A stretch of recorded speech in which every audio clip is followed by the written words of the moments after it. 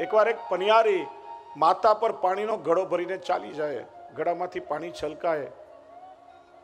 પાછળ પાછળ એક કવિને કવિ આ દ્રશ્ય જોયું. કવિ કોને કહેવાય? જે કુદરત સાથે કીર્તન કરે, પ્રકૃતિ સાથે જે સંવાદ રચે, કવિ ઘડાને કહે છે, આ પનિયારીએ માથા પર ઉપાડ્યો એટલે બેકી ગયો છે, છકી ગયો છે, માટે છલકાય છે. ત્યારે ઘડાએ કહ્યું, એ પણ કવિએ સાંભળ્યું. ઘડો કે છે, હું પેલા માટીના રૂપમાં હતો ત્રિકમથી પાવડાથી ખોદાવવું પડ્યું. ગધેડે ચડવું પડ્યું. કુંભારના ઘરે આવ્યો, પાણીથી પલળ્યો. કુંભારના પગના તળિયે ખૂંદાવવું પડ્યું. ચાકડે ચડ્યો, ઘાટે ઘડાયો. પ્રચંડ અગ્નિમાં નિંભાડામાં તપવા માટે મૂક્યો. અગ્નિમાં તપી તપીને પરિપક્વ થયો અને બજારમાં વેચાવા માટે મૂક્યો. જે ખરીદવા માટે આવે, ટકોરા મારી મારીને ચકાસે, નહીં ખરીદનારા બે ચાર મારતા જાય. બધું મેં સહન કર્યું.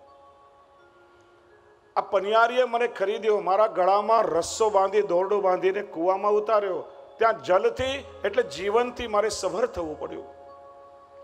વળી પાછો અથડાયા કૂટાયા વગર વગર ફૂટે બહાર નીકળ્યો. ત્યારે આ પનિયારીએ મને માથા પર ઉપાડ્યો છે. આ આટલી કસોટીઓમાંથી હેમ ખેમ પાર ઉતર્યો. આ તો હર્ષના અશ્રુ છે બહેકવાની તો કોઈ વાત જ આવતી નથી.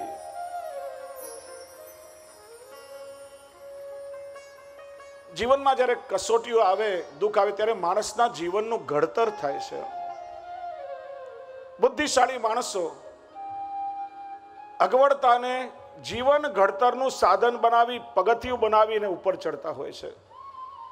તમામ ટોચે પહોંચેલા માણસોનો ભૂતકાળ તમે જુઓ, કેટલોય સંઘર્ષમય રહ્યો હશે. દુઃખ જીવનની એક આવશ્યક ઘટના છે. માણસ એમાં જ પરિપક્વ થાય છે એટલે દુઃખમાં વિચલિત ન થાઓ, સુખમાં છકી ન જાઓ. કારણ કે બધા દિવસો એક સરખા હોતા નથી, હા.